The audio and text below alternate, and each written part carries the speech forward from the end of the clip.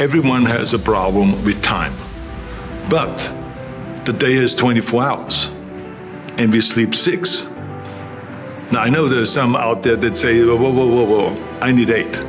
Well, I say just sleep a little faster.